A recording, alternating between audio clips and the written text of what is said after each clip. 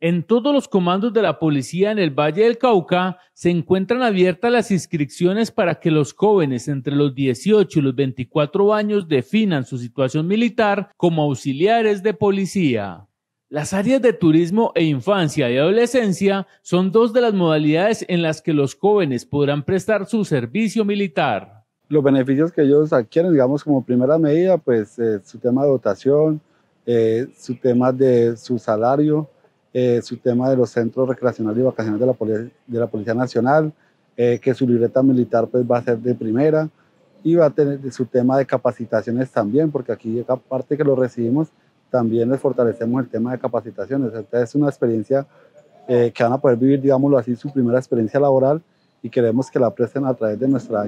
especialidad de infancia y turismo para que ellos se empoderen y sean esos multiplicadores para la protección de nuestros niños, niñas y adolescentes y de nuestro patrimonio cultural y turístico que tenemos en el Valle del Cauca. La invitación es también a los padres de familia, a los jóvenes que no han definido su situación militar para que les permitan hacerlo en la policía. El mensaje a los padres de familia es para que de pronto nos den esa oportunidad de poder ayudar también a sus hijos a que se fortalezcan en valores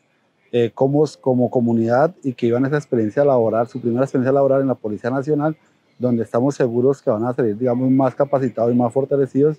y vamos a tratar de que ellos siempre, digamos, sean esos referentes de la comunidad porque tenemos que tener en cuenta de que debemos seguir trabajando es por la convivencia y la seguridad ciudadana de todos nosotros. Una vez terminado el servicio, los jóvenes tienen la oportunidad de seguir su carrera en la Policía Nacional. Y también puedes decir que van a tener la oportunidad dentro de su servicio militar poder participar en las diferentes convocatorias para ser patrulleros de policía, bien sea eh, o oficiales, para que digamos eh, brinden esa oportunidad y nos den la oportunidad a nosotros de poderles aportar en su proceso también, digamos, bien sea de formación laboral.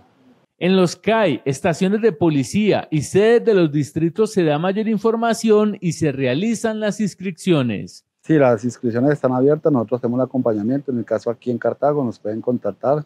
llamamos al teléfono 314-746-8173 o se pueden acercar acá al distrito de policía y preguntan por la subintendente Liliana Costa, que es la jefe de la infancia y la adolescencia en Cartago, o el suscrito, para poderles acompañar y brindar todo el asesoramiento para su inscripción y posteriormente su vinculación como auxiliar de policía. ¿En los demás municipios dónde pueden adquirir información sobre, el proceso? En los demás municipios se pueden acercar, digamos, en, el, en Buenaventura, se pueden acercar a la base de distrito, su intendente Pareja o el subintendente John Arango, en el municipio de, de Palmira, la intendente Marta o el subintendente Macías o subintendente Castaño, en el municipio de Uga, la subintendente Clara